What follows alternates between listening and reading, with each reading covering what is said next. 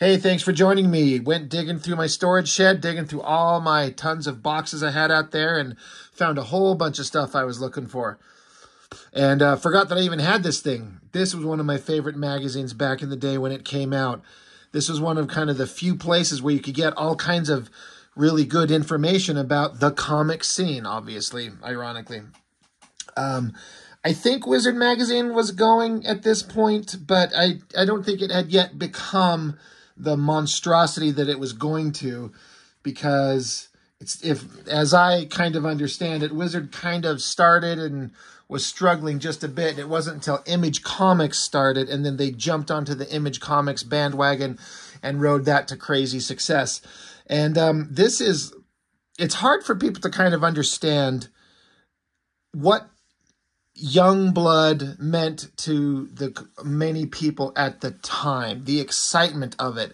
This was just at the beginning of the speculator bubble, and comics were selling in outrageous numbers, and Liefeld was the man. He was one of the biggest new names that connected with a young audience, and it's you know even weird for me to say that because if you watch my channel, you know how I have many criticisms of his art, but his older stuff, even this, I, I, there's something about it that I like, even if it's, you can find technical things wrong with it. I like his older stuff, and um, there's no denying, there's absolutely no denying his popularity at the time.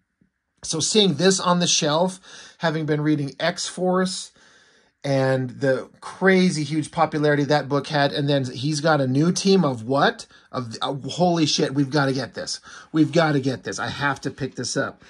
So four dollars and fifty cents back in uh, I think it's ninety one. Um, sorry, I should have looked at this to start. Why doesn't it tell me right there? Ninety one. So, but the great thing about this magazine, this poor magazine, if you can tell, it's seen some, I don't know, maybe a little bit of slight water damage. So it happens when it sits out in the shed for years. Um, seen better days, but it had all kinds of neat shit in here. So if you're lucky enough to see something on the cover that you really love, you pick it up and you're most likely to find all kinds of stuff inside it that um, you might really enjoy on its own, you know, see something new. So, God, I feel like there's another page turn here. Excuse me. It starts out with a great picture of Spider-Man by Erik Larsen, Ghost Rider, and the boring-ass Shadow Man. I do not understand that character. But anyway, these magazines were great fun. All kinds of information, letters, pages, comic strips, and things that are supposed to be funny. Sometimes they were, sometimes they're not. And then again, like, you know, these days we're spoiled. You just pull up YouTube on your phone and you look, you know, you look up instrumental score to Star Trek 2 and you can listen to it. But at the time, if you wanted something like this, you had to go find it on cassette tape or CD and you had to order it from somewhere or drive to a like a, a music shop and see if they had it. I was was and am am really big into Star Trek, specifically the older stuff. The newer stuff kind of bores me to tears. But, and I also love instrumental scores and music. And so uh, getting CDs of Star Trek 2 and 3 was one of my first musical kind of like, I started noticing what music was in movies from Star Trek movies. I mean, it was always there, but at some point, for some reason, in these two movies specifically, I started like going, wow, does this music, does the instrumental score just drive the feeling of this thing? Like it's so important. I would listen to this on my own. And I started collecting movie soundtracks like crazy for a long time until it got to a point they all kind of started to feel like they were just repeating themselves. But this is where you'd find stuff like that. um, an article on Luke Cage never was anything I was particularly interested in, especially at this time. Oh my gosh, excuse me, it's late. Um, but it's always interesting to see the stuff that's um, being created, artwork in almost a black and white form. And it's interesting looking back on it retrospectively now, just to kind of see what was being pushed as something big and exciting at the time. I don't know if this was actually really successful, but they were trying, right? Um, always was really fascinated by this article in a lot of ways just because of the artwork. This image over here, this one, I stared at this forever, trying to understand how so few lines and a couple of dark blobs for those eyes could make like one of the coolest flaming skulls I've ever seen in my life. Like, there's almost no definition of like the mouth and the slots in between the skull, like the the the the openings in the jaw line from the upper and lower jaw and just those scratchy little crosshatch marks and no outer outer line. It's so perfect. It feels like a rough kind of sketch. Says uh, art by Tex and inks by Palmiotti, which is interesting because Tex's work always looks best when he goes crazy on it. But I wonder, it would be neat to see what the pencils look like that. So I got to give it to Palmiotti for inking that. But I loved that. I've always thought that was so interesting. And then this wash, I mean, Tex paints for sure. So I don't know if that's a wash or oil paints or whatever. Who knows? But it's just great artwork. But it's just an article with, you know, interviewing the artist, talking about his artistic influences and and what he's doing on the book. He does say a thing here. Um, or is it on the other page? It was an interesting. He says Marvel can't figure out his popularity, the Ghost Rider. Um, he says they can't figure out why it's selling because they're not advertising him like X Men and Spider Man. So it's interesting that are like they just had kind of like a surprise, unexpected, unprecedented success on their hands. They're like, well, for some reason this is working and it's selling really well, and Marvel's not really pushing it. So yes, you just grab onto it and just run as, as quick as you can.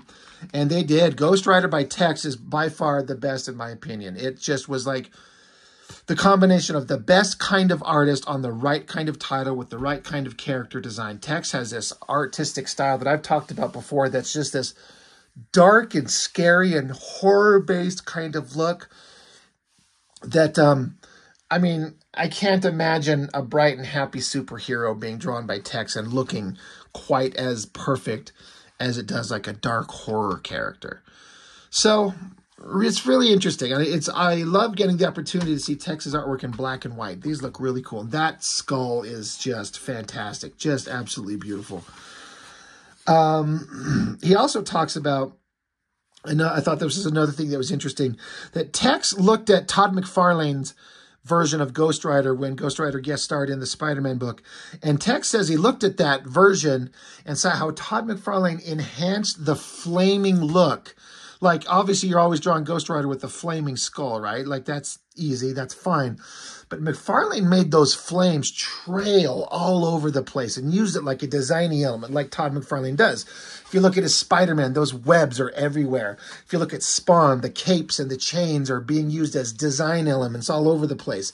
So you have to look at what you got with the character and what can you do to really make it stand out and be different. And McFarlane, being who he is, just takes those flames and they're just whipping all over the place.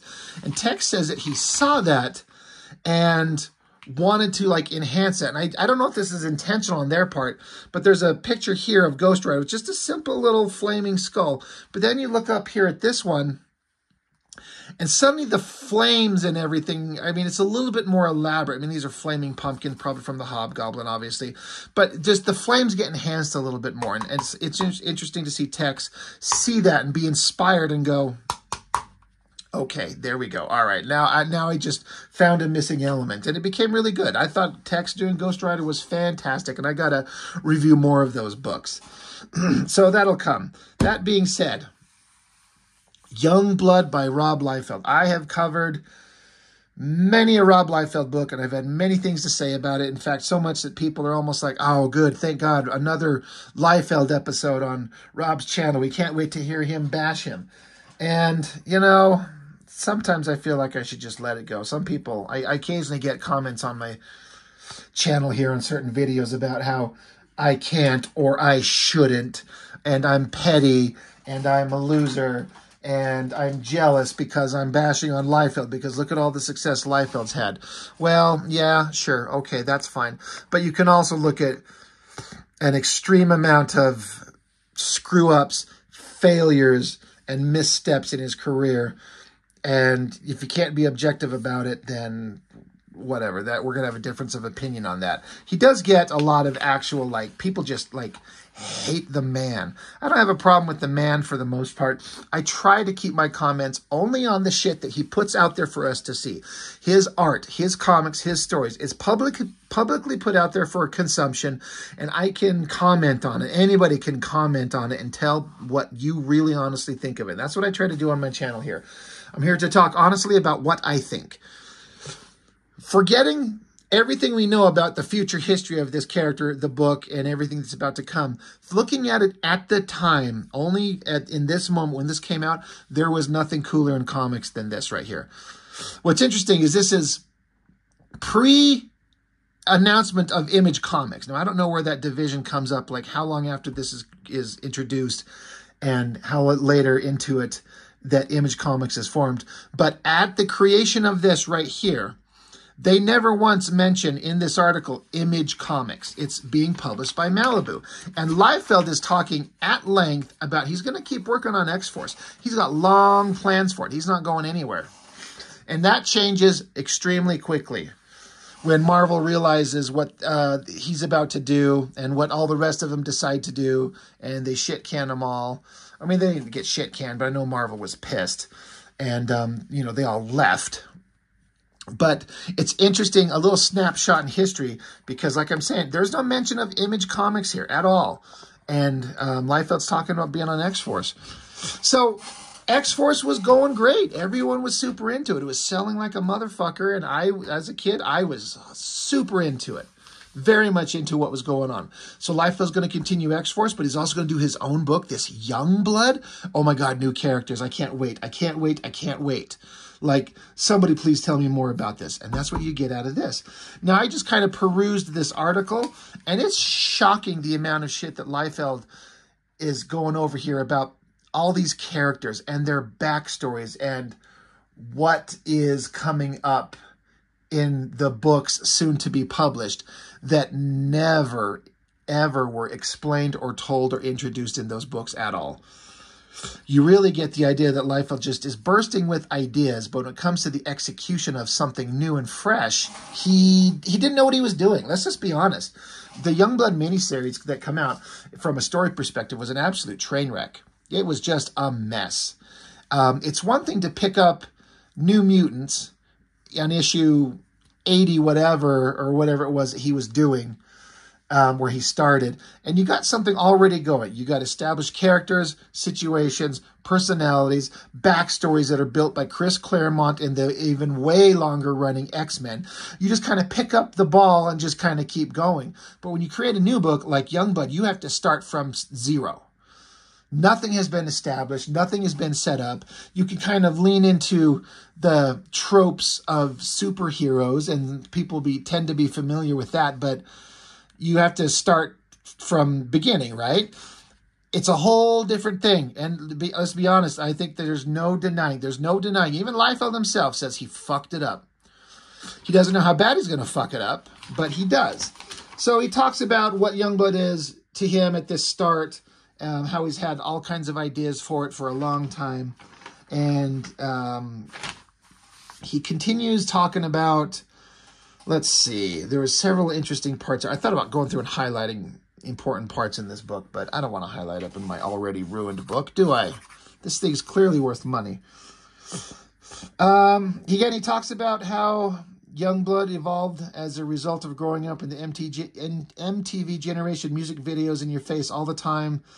Um, if superheroes were real, they'd be bigger than movie stars, would be big time celebrities. All right, sure, that's 100% fair. Um, that wasn't really gotten into too much in the original Youngblood miniseries. A little bit. Um, let's see. Uh, I also liked seeing the black and white artwork. That was always fun, like I've been saying, as a guy who liked to draw comics. Um, at this point, I was barely learning how to draw. And just to see this stuff in black and white, and Liefeld stuff is so non-traditional from like an inking standpoint. It kind of flies in the face of like traditional understanding of comic inking, but it works, you know? I mean, it, it basically works. So this is where there's some interesting bits here. It says, in addition to offering a flip flip cover, every issue features a 12-page story for each team, with both groups intertwining more closely by the third issue. Liefeld fans will be disappointed to learn, however, that the third issue is also the series' last. Well, most of that is incorrect. Issue one had flip covers for away team, home team. And yes, they were you know, two different teams doing two different stories. Yes, but that was the only issue, issue one. And then it says it's a three issue series. That's not true. It was a four issue series. And then it still didn't even finish its own storyline. They had to finish it in issue four of Brigade as a backup issue drawn by somebody else. I've gone over this at length. It's just interesting to see how Liefeld's saying, this is what it's going to be. And it didn't turn out to be that at all. Now, I mean, things are fluid. You have an idea in your head of what you're going to do, and then things change and it grows. And I, so I don't care about that. I'm not really saying that as a criticism. It's just an observation of what he was saying. It's this, but that it turned out to not be that at all. Um, he says that, however, the third issue will also be the last. It, it's all I could fit in right now, but I wanted to get this out here. They they they are characters that I like a lot, and there are themes in it that haven't necessarily been explored. Um, let's see. He does refer- reference, um, he's like, for example, there's Masada, who is Israel's first and only hero to date. So, you know, that character didn't show up for a while, but he's had that character in his head for a long time. So that's interesting. Um, th- this is another interesting part because if we all know the Youngblood universe, it's Youngblood, it's Brigade, it's um, the fuck was the book that um oh my god the other one was it Bloodstrike? Oh my god i just can't think of it. It anyway y'all know what i'm talking about that dan fraga drew. But he says but he talks about introducing the numbskulls, a group of guys who are literally the rejects of all the genetic engineering that's going on. They didn't quite turn out the way they were supposed to. This is crazy, but this is how I get my ideas. My dad had a brain tumor when I was in sixth grade, and it reoccurred twice since then. Thank God he's lived through each one. But when I was a kid, I, I remembered that the entire half of his face was numb, and he was never he never had feeling in that in that side sense. Um, so he's like, well, what if there was a whole bunch of these guys, you know, they had weird things like that happen and it screwed up them genetically. So the numbskulls are nothing that ever were created. I don't know. I, am trying to imagine what that would have been spun into instead of. I mean, there is that team of oh God, is it is it Bloodstrike? I'm so mad I can't think of it. I don't know where one of those issues is. I know Bloodstrike is the name of a character, but um, like dead soldiers reanimated. Um, I know you'll tell me, one of you, in the comments and bring it up. But numbskulls, he brings up. A bunch of characters of genetic rejects. That's not a thing that ever come up. And then he goes in to talk about all the characters. Now, this was interesting because he goes on and on for paragraphs about all the characters in their individual ways of or individual character characteristics and he mentions all kinds of stuff about them that sounds like reasonably interesting-ish character traits, almost none of which were in the fucking books. I, I know over in the Cartoonist Kayfabe channel, um, they talked about this all the time, often, especially specifically with Youngblood, where they're like, you'd hear about all these backstories of these characters in the interviews of the creators talking about the book, never in the book itself super correct right here, right. This is maybe the origin of that type of stuff.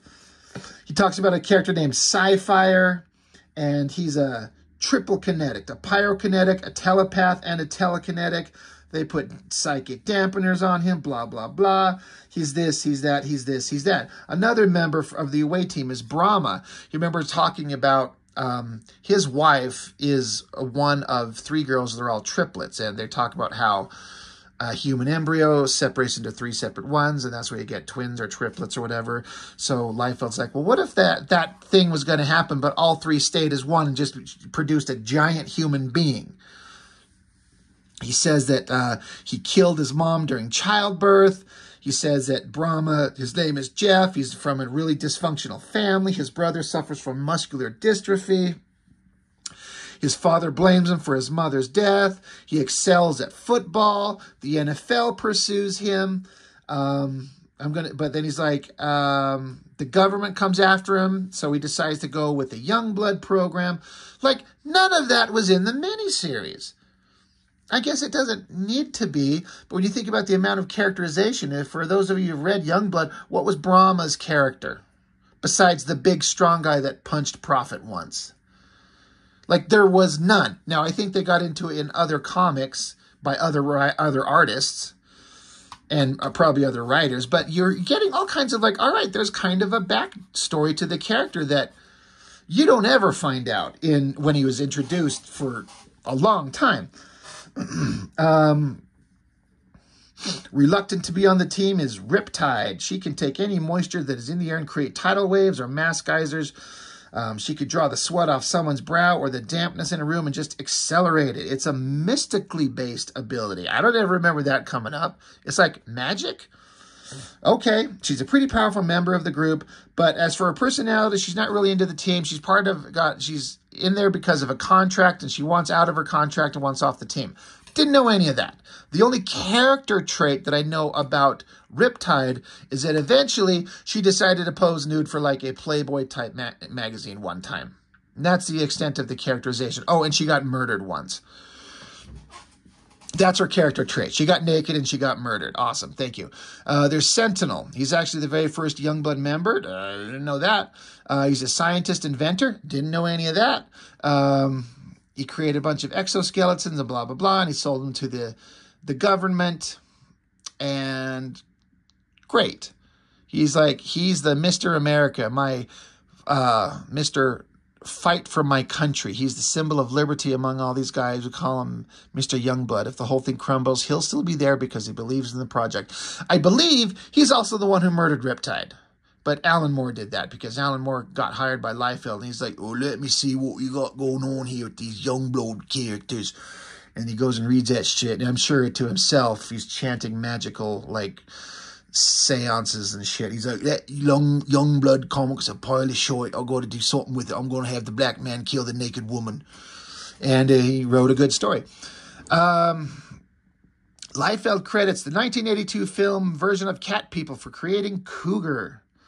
And he's like, they're like werewolves, but they're cat wolves. And I've got this long story about Cougar's mother was found unconscious by an expedition and taken into their care, and she mated with one of them, so she fucked a cat person. Okay. The result was Cougar. Cougar comes back, and he he's going to join up with the team. Liefeld is quick to point out that Cougar is not another Wolverine. He acts more regal and royal than brutal and savage. No, he didn't. He did not act like that at all. He just acted like a smart mouth that jumped around and like punched at people. He doesn't have claws at all. Eventually, people gave him claws on his fingers. But it's like, what can this guy do? Is he fast and he can punch? He has no weapons?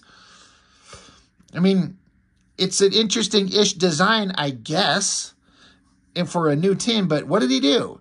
But, you know, Liefeld's very quickly to point out he's not this. Well, he, he was not that, but he wasn't anything else either but he gives all this backdrop to the character. He was originally going to have him show up in New Mutants, but then that changed, and then he took Cougar out of the team and put Feral in there. Feral was supposed to be related to Cougar, but he changed Feral into a whole new character. Stuck in an X-Force, rest is history. Um, two more aliens serving the Youngblood cause are Combat and Photon. Um, but Liefeld will quickly pose the question as to which one is staying on the Earth illegally. You always hear about the government covering up alien discoveries. Well, here they are. They're basically warring aliens, Cougar and Photon. Sorry, Cougar. Photon and Combat. that are two opposing alien races that absolutely hate each other. And so, but they crash on Earth and then they split them up and put one on each team in, in exchange for exchange for alien technology. They'll give him asylum. Okay, great. Uh, not much character there. I guess combat's supposed to be a wanted man. Um, Youngblood, the team's led by Shaft, an excellent marksman and skilled martial artist, just like another bow-carrying character in a Liefeld comic book. Um, but I guess he's really, he's on the FBI, he was really good at what he does, and the government's like, hey, you're awesome, put on some spandex and shoot arrows and aliens and shit. And the guy's like, all right, that's fine. Uh, Reed is also find out more about, uh, let's see, Battlestone. Yeah, um, the previous guy who held the leadership position in Youngblood was a guy named Battlestone, was tired of the government's bullshit. He left and formed a group called Brigade. The government isn't very happy about that. We find out about that in the miniseries. Readers will have to find out more about Battlestone and Brigade in their own four-issue stint, which kicks off after Youngblood concludes. Um, he's like, I created the characters for that miniseries, and I'll be co-plotting it and inking it. Hank Kanalz will script the book, and Marat Mychaels will be co-plotting and drawing it. Um, so, I mean, that's kind of what happened. Uh, I do have to say, I've always thought that these rough kind of standing character designs that Liefeld does are actually pretty fucking spectacular. I, I, think that these just basic like scribbles of a character design, even these basic lines and shapes for this uh, ridiculous outfit on Badrock, um, are pretty good. I kind of wish a little bit, like if you understand how big Badrock is supposed to be, and we go back to the cover, he's huge. But when you saw this, I was kind of like, well, if they're all kind of standing on the same ground, he's actually shorter, but he's wider and thicker and made of rock. And that, to me, that's slightly more interesting. Kind of a shorter, like, I mean, if Prophet here is six foot tall at least, maybe a little taller, then, you know, Badrock's under six feet, but that's kind of interesting. But I don't know if he just if that was his intention or it's just he's just scaled down because they just put these together. Who knows, right? Who knows? Who cares? Um, getting into more characterization, you got Die Hard. Um, he is an ex-soldier type experiment. He's the government's government's first and foremost genetic experiment gone good. They gave him a serum, the drugs, the technology to be this ultimate soldier. He's incredibly strong and strong-willed. He has increased abilities all around. The closest thing to a Superman that the book has, Die Hard was the Superman. All right. Um, you'll see, uh, but there, he's the closest thing to a Superman that the book has, but there's also a mysteriousness to him. You'll see him take his mask off and stuff. No, he didn't. And we'll follow him home a couple of times. No, he didn't. But as to who and what he is, is going to be left up to the reader's imagination. I mean, eventually, I don't know if I've ever seen him actually with his mask off 100%. I remember there was like a scene in a Youngblood issue way, way later he like took it off and he cut, catch just a little bit of the side of his head that's looked like ground up hamburger like Spawn. And we never followed him home. He was never home. There was no home. He just kind of comes out of a closet and flies into battle. And then we move on to Chapel. I don't want to give away too much about Chapel. He's the mysterious, dark, brooding character. And that's basically all it says. All right. And then there's Vogue, a Russian agent who defected to the U.S. because she liked to hear better. She's also very dark and mysterious. The Russians want her back in a very bad way, and they'll put things in motion very early on to get her back. No, they didn't. None of this shit happened in the miniseries. Not one fucking bit of it. Liefeld just glommed onto the idea of Prophet starting with issue two, and basically made him the star of the book. You don't learn anything about him. You don't learn anything about all the other characters. It went from a three-issue miniseries to a four-issue miniseries, which still didn't finish, and like I said, had to be finished as a flipped book and on in Brigade number four, drawn by um, Chap Yaep, which was just, just, just awful, just terrible.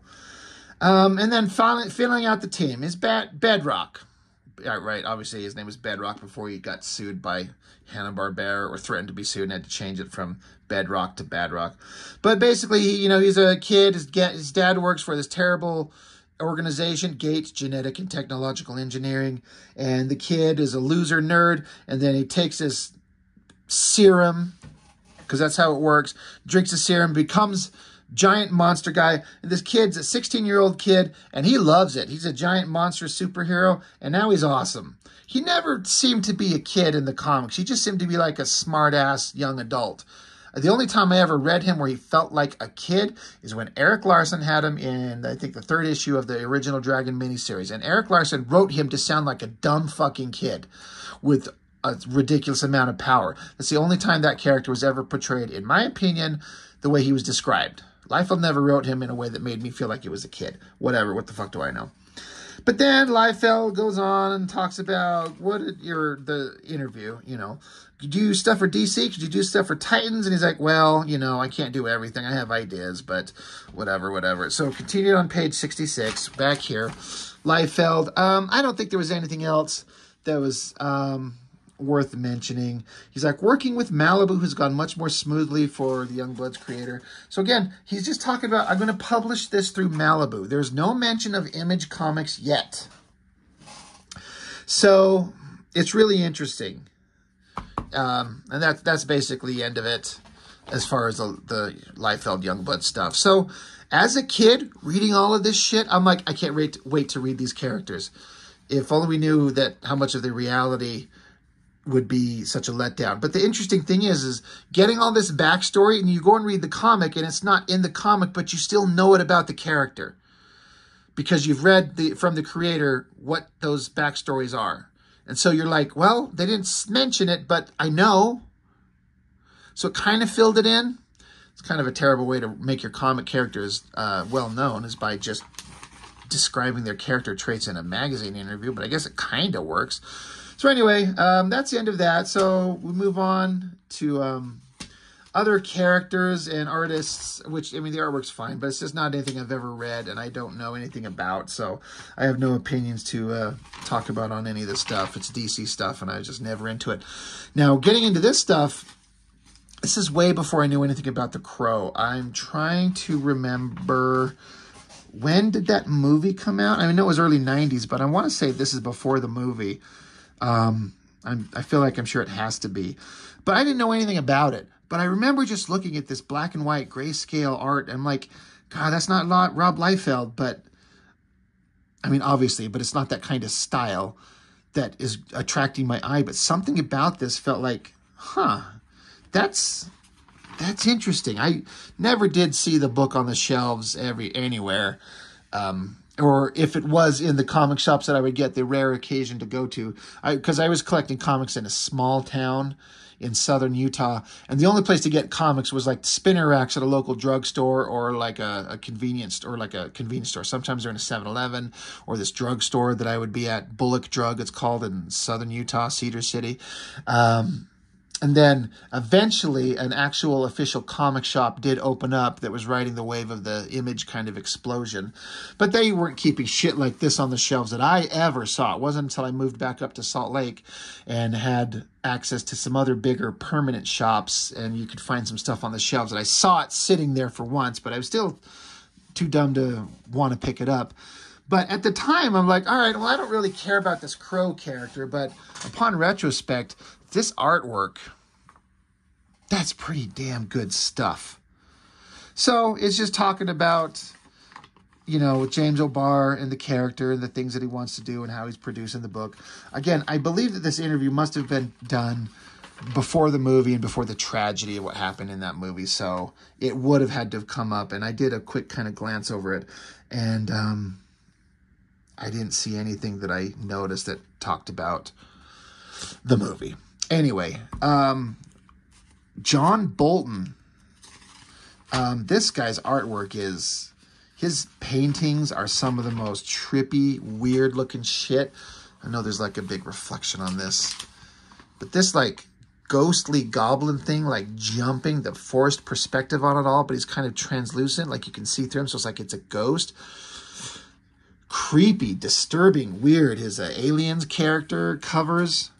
Um, I can't talk much about John Bolton. I know not much about him, but some of the work that I have seen, he makes some really like disturbing imagery that sticks with you.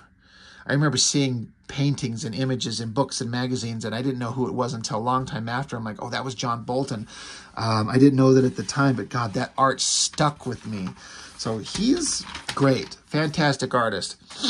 Speaking of fantastic artists doing awesome traditional superhero comic books, Erik Larsen taking over Spider-Man after McFarlane leaves. Um, that's a mini series that, uh, or I mean, mini series, whatever. It's a, you know, was it a six issue or an eight issue run that Erik Larsen did? One of the better things he's ever done. I mean, I think it's like his his statement on Spider-Man. He gets the character, has him team up with some heroes, Ghost Rider, Hulk, fights all the villains, has a great basic superheroic storyline. Erik Larsen knows what he's doing. He knows how to make superhero comics. He um, definitely uh, an interesting thing that he mentioned in here that I thought was really good. Um, it, it, stuck with me forever. Um, he uh, he had to take over Spider-Man after Todd McFarlane, which sold huge numbers. Second highest selling, third highest selling American comic book of all time. The McFarlane Spider-Man number one. It was Spider-Man, and then X-Force came out, and then um, X Men by Jim Lee came out. So, and um, but uh, how do you take over after McFarlane? Um, let's see. He mentions here. He says Todd said to me that I was in a losing position coming onto the book because I was damned if I do and damned if I don't. If I drew just like Todd, I would get all sorts of mail for being a clone. If I drew nothing like him, I would get hate mail because I had changed the book so much. So I remember reading that and kind of feeling bad for Larsen. Like, well, so what do you do? And I think the only thing you can do is just try to make the best comic book that you can possibly conceive of. Just do the best work that you can, which he does. And um, he says, from the editor's point of view, I think I came in at a pretty decent time. People were expecting the book to plummet like a stone as soon as he left. So if the book started to sell better, it was I was a miracle worker. And if it sold worse, everyone expected it to sell worse anyway, and they would say it's due to McFarlane's popularity. And that's fine too. I came on and the book sold better.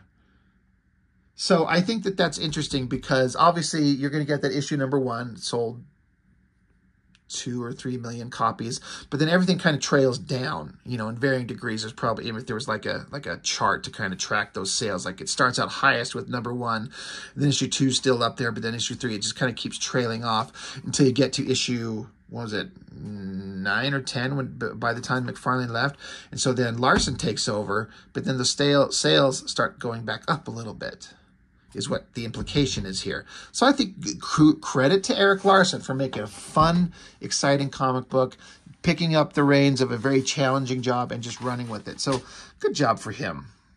So he just kind of talks about the comic and what he was doing and how he just uh, it's just his approach to everything. It's a pretty fun article. Always great artwork. Like seeing it in black and white. So just kind of I mean, I'm I don't have much to say about it. It's it's a it's a good interview. It's just I guess nothing really worth getting into too much. But it's a good article. Erik Larsen was a kind of a fun, exciting guy, and I liked him. And uh, that's why he went on to do the Savage Dragon, which is the best image comic anyone ever did in that in that first run of uh, books. T2 realistic mask. I wonder what the actual mask looks like. Um, Ultraman, I have zero knowledge or interest in that, so I skipped it every time. Um, couldn't be less interested in a character named Shadow Man that likes to that lives in New Orleans and likes to play the saxophone. Then has a his symbol is a picture of a man silhouetted in a door shape, like in a doorway. I just I don't care. Never have, probably never will. And maybe that's a that's a mistake on my part, but I couldn't imagine anything being less interesting to me as a kid, especially when I got done looking at Larsen's Spider-Man and Liefeld's Youngblood. As a to to a kid, I was like 14 years old. Could not care less. Um, I mean, shit, I was way more interested in, like, God, I want these Star Trek technical journals. Because, again, like I've mentioned, I love Star Trek and I love the technical aspects of it, the space vehicles and shit, and like diagrams and descriptions of what these ships can do. God, I was so into that. Uh, Star Trek 6, great. Great final movie. Big Star Trek fan. Uh, the Crow interviews continued here. More great artwork. That shit looks so good. Uh, they talk about, uh, I guess, the lady who was the screenwriter for the Beauty and the Beast animated movie. Back in that kind of big surge of Disney animated stuff that was all just fantastic. Great, great movie. Still entertaining to this day. And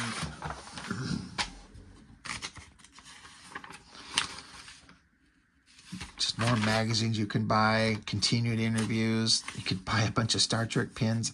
All right, I'll be honest, I have one of those. I didn't order it from here, but I do have one. I still got it sitting around here somewhere. I didn't want any of the others, but I'll take the pin. I'm kind of comfortable with that. Uh, Family Dog. Um, written and directed by Brad Bird, who went on to be part of Pixar and do Incredibles and stuff like that. This animated show, Family Dog, at the time was the funniest thing I'd ever seen in my life. I just couldn't imagine anything being funnier than that ever. You know, you watch it uh, several times, and there's still funny parts. It's still still very good, but it, you know, kind of drops off a little bit in interest. But it's a pretty goddamn good show. Just creative, wild thing. Um, but it talks about um, how it was part of one of a handful of well-received episodes from Steven Spielberg, Steven Spielberg's 1985 anthology series, Amazing Stories. That Amazing Stories, I thought was fantastic. There were several really well done episodes that I that stuck with me in a big way. It's kind of like a Twilight Zone kind of thing in a way. Um, very good stuff. Uh, God, The Rocketeer, what a magical movie. It's just completely perfect. It's it's a shame that it bombed off its ass, but it's go, grown to like people understand how good it is now. Anyway, just kind of the end of the stuff. Uh, great artwork from Sergeant Rock by um, Joe Kubert, and uh, just again, order some Star Trek magazines, order some fantasy books. Good stuff. And then this ad again, it's just Youngblood highest possible recommendation. But it's not Image Comics, not yet. It's probably three seconds after this book was, this magazine was printed that Image Comics was probably conceived of and introduced. But at the moment, it was it was just Liefeld. There was no Wildcats or Spawn that anybody knew of. As far as I can tell, there's nothing listed. It's just Youngblood by Liefeld through Malibu, Malibu Comics. It's not Image Comics yet. But uh, boy, that shit was about to explode. So, anyway, Comic Scene number 25 from April of 91. Uh, good times, great magazine, and um, this was super fun back in the day. You had to have been there to really experience how awesome this was. It uh, it was everything to us kids. So that's all I've got. Thanks for watching. I appreciate it, and I'll see you next time.